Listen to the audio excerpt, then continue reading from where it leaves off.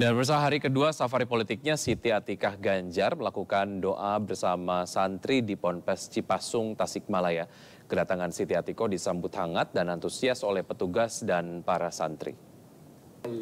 Istri calon presiden nomor urut 3 Ganjar Pranowo Siti Atikoh mengikuti doa bersama dengan pimpinan dan santri di Pondok Pesantren Cipasung, Tasikmalaya, Jawa Barat.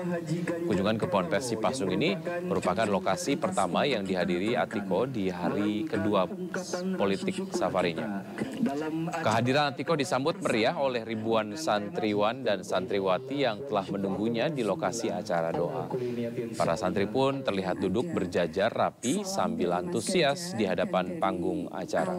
Acara doa bersama ini mengusung tema santri menghantarkan santri menjadi abdi negara. Pimpinan Pondok Pesantren Cipasung Kiai Haji Ubaidillah Ruhiyat serta jajaran pengasuh Pondok Pesantren turut menyambut kedatangan akikah dan rombongan di lokasi acara.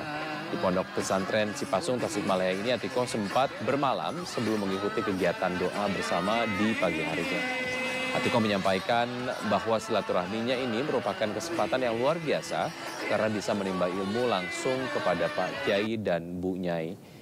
Istri capres nomor urut 3 tersebut mengaku sangat bersyukur dapat bersilaturahmi dan berkomunikasi secara langsung dengan santriwan santriwati di Ponpes Cipasung. Apalagi sebelumnya sang suami Ganjar Pranowo juga telah hadir di Ponpes ini beberapa waktu yang lalu.